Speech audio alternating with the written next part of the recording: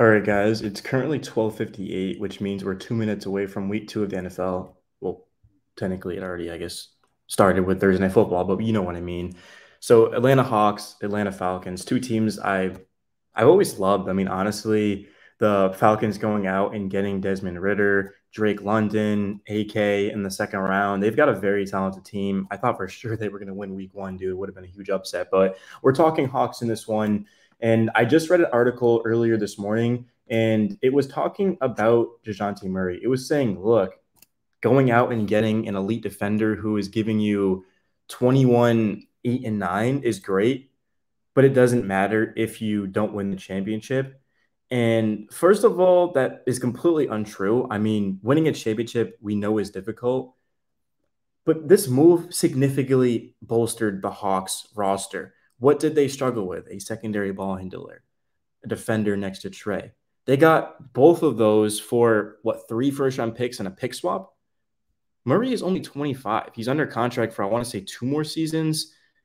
He's an all-star. You've now you've got Trae Young, who, in my opinion, is a superstar. Could care less what anyone has to say. Trae Young, you can win a championship with him as your best option. We just saw him take the Hawks to the Eastern Conference Finals, and the roster is significantly better now than then. So what's going to happen now? I know the East is better and things like that, but Ice Trae, one of my favorite players, I get every single day someone comments that I look like Trae Young. Let me pull up a picture of Trae Young actually. I want to see this. I actually look like Trae Young. Hold on, me. How do I zoom in? I kind of feel stupid for not knowing this, but oh, there we go. Can you guys see that? I actually can kind of see. I can kind of see it. I don't know. It's kind of funny, but let me let me zoom out of that because it's like really off topic. But all right. So, anyways, we talked about Murray and him and Trae is as good as it gets, honestly, especially in the East. I mean, I, I guess Tatum and Brown would be better, but and I guess you could also debate like, well, I mean, Giannis and Giannis and Middleton's pretty damn good as well, Harden and Embiid. But I, I just Trae and Murray just complement each other so well. And we've started to see just just a, a different DeJounte Murray. Even though the games haven't started, we've seen a different Murray since he actually arrived in Atlanta. Like that personality is being unlocked, right? Like when you're playing in San Antonio, you don't you don't really I'm not saying anything it's the Spurs, but you know, Murray's just been way more active and chatting, and that's something the Hawks need, bro. But like the bigger picture here isn't even Murray and Trae. That's what everyone's gonna talk about in a Hawks video. But can we talk about the rest of this roster? Like, look how good the Hawks roster is. And if you actually watch Hawks games and follow them, you would understand what I'm saying, which think this is a Hawks channel, so everyone does. But like DeAndre Hunter, John Collins, Clint Capela, Bogdan Bogdanovic is legit a six man of the year player. And I know six man might not sound that sexy, but like he could start on any single team. He could start for the Hawks if, if he wanted to. Like he's very talented. And take a look at his numbers last season. I mean, he put up 15 points per game, four rebounds, and three assists. And this is a weapon off of the bench.